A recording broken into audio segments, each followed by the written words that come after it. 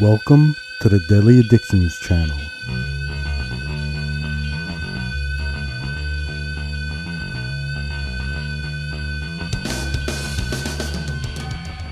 Hey there, everybody. I'm going to be talking about Westworld Season 3.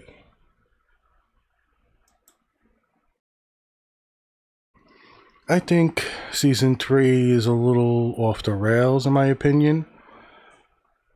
I thoroughly enjoyed season one. Season two, I'm a little iffy on, but for the most part, it kept me interested. It kept me uh, thinking in, I guess, a way that I was comfortable with, with playing with the timelines and playing with what was going on, what's the underlying meaning and everything. But season three, granted, I'll give them this. They tried, they really changed the setting so much is it a risky thing? I think yes, and it didn't work for me. I don't understand a lot of the things, and maybe it's you know I smoke too much pot, whatever. But I was really got a handle on season one. I was into it. Uh, uh, expectations were met, and some of my guesses were spot on. What was going on? The interest in the characters stayed steady, and even ones with background elements, but they stood out. They seemed to know that and, uh, you know, hone in on them, give them a little time. But season three just seems like it went too far off the rails. It's too much of an experiment. You left a lot of stuff behind that I was interested in. The visuals, first off, I love seeing a, a Western environment to begin with, even if it's laced with technology and um, cuts to uh, offices and uh, facilities, so to speak. Fine. This is just, you know, it's too much of a look that they went for that. You know, it, it's not Blade Runner look, but it's not um, our current look, which is understandable, but it's its own thing, fine.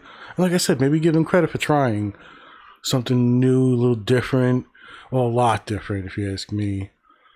But there's a lot to follow. There's a lot that you're trying to piece together, and it doesn't feel like it works. It doesn't feel like you can connect the threads to season one and two and where it was going. Fine, if that storyline is ended and I missed the boat, maybe, you know, put an exclamation point on it by giving side the like side character. Well, I don't know if I call them side characters, but Bernard is a pretty important character. But and like, and this is another show. Great, great performances. Uh, Evan Rachel Wood is good, really good, and Thandie Newton should get awards. She's amazing in it. And you get James Marsden, and there's a load of people. Anthony Hopkins has been on it. Tessa Thompson, but don't know. Season three doesn't seem to pull it off for me. You gotta, I don't know, a risk. It's a, I think it's just a risk that didn't work for me. Now, I this is one that I would even be surprised that a lot of people liked because I just I don't see the the elements strong enough from season one and two that work. I mean, all we're wondering about is the fate of these certain individuals that you don't even know you know if their fate is even what it even seems but as always you had a place to found it in a foundation or to go back to. This seems like it's cut off and it just doesn't connect well. And like i said you've got the other characters like bernard and uh, they bring back here and there elements. Not enough for me. Just didn't feel like a comfortable place in this adventure I was on. So season three is going to be a letdown for me. A little too, uh, you know, and and they did it where this. I, I can imagine that this show, the casting gets would get awards. I mean, they do an amazing job. From the main characters to side characters to the side characters that get popular and explored they choose, in my opinion, the wrong actor to be a major plot. He's like he's like the main character in season three, next to um, Dolores's pod and Maeve, and he doesn't work. He's his acting doesn't work well. The from everything from his facial expressions to um the the delving into his character and he's exploring it just doesn't work for me. It's done badly in my opinion, so that's another strike. So I'm actually remembering now some of the things I talked about with a friend, and he was a major part of it too. I don't like this. You know, you choose a person for a role, and it's revealed there's more to this person. Fine, but it doesn't work. Like the actor's range or the director's input isn't enough to bring it out. I'm not saying the actor sucks, and I talked about this for like characters in certain shows or movies.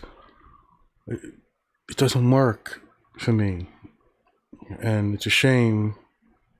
But you got confusing elements into it that are now somewhat confusing and not really puzzles to me.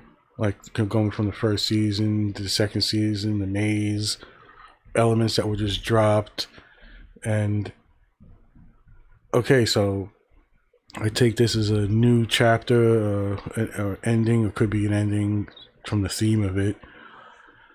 I don't know. In the end, it just seems a little wishy washy, and not enough is explored for me.